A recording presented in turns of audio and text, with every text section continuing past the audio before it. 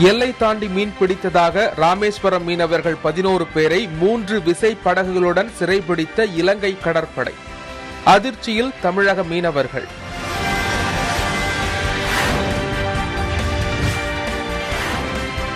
தமிழகத்தில் பொது பிரிவினருக்கான மருத்துவ கலந்தாய்வு. சான்றிதழ் சரிபார்க்கும் பணிகள் தொடக்கம்.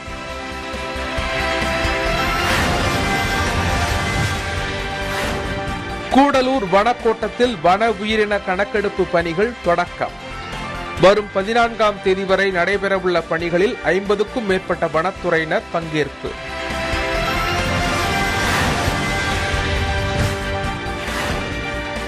காஞ்சி காமாட்சியம்மன் கோவிலில் பிரம்மோற்சவம் கொடியேற்றத்துடன் தொடங்கியது. தங்க கவச அலங்காரத்தில் பக்தர்களுக்கு அருள்பாலித்த காமாட்சியம்மன்.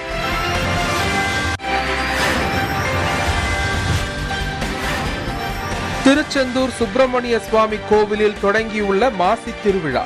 காவடிகள் ஏந்தி திருச்செந்தூருக்கு கால்நடையாக செல்லும் முருக பக்தர்கள்.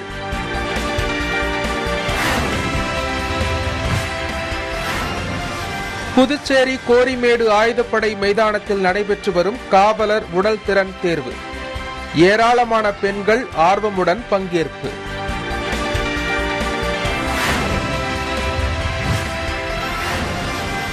கோவை வஉசி உயிரியல் பூங்காவுக்கான அங்கீகாரம் ரத்து.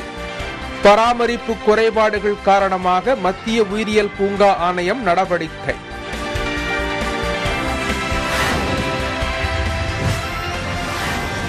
ஒட்டன் சத்திரம் தக்காளி மார்க்கெட்டில் வரத்து அதிகரித்துள்ளதால் வீணாகும் தக்காளி. மார்க்கெட் வளாகத்துக்குள்ளேயே கொட்டப்படும் தக்காளி கழிவுகளால் சுகாதார சீர்கேடு ஏற்படுவதாக புகார்.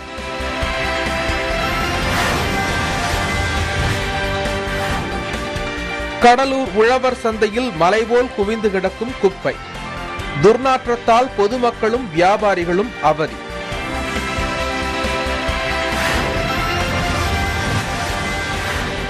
செங்கல்பட்டு மாமண்டூர் அருகே பாலாற்று பாலம் சீரமைப்பால் போக்குவரத்தில் மாற்றம். பத்து கிலோமீட்டர் தூரம் போக்குவரத்து பாதிப்பு.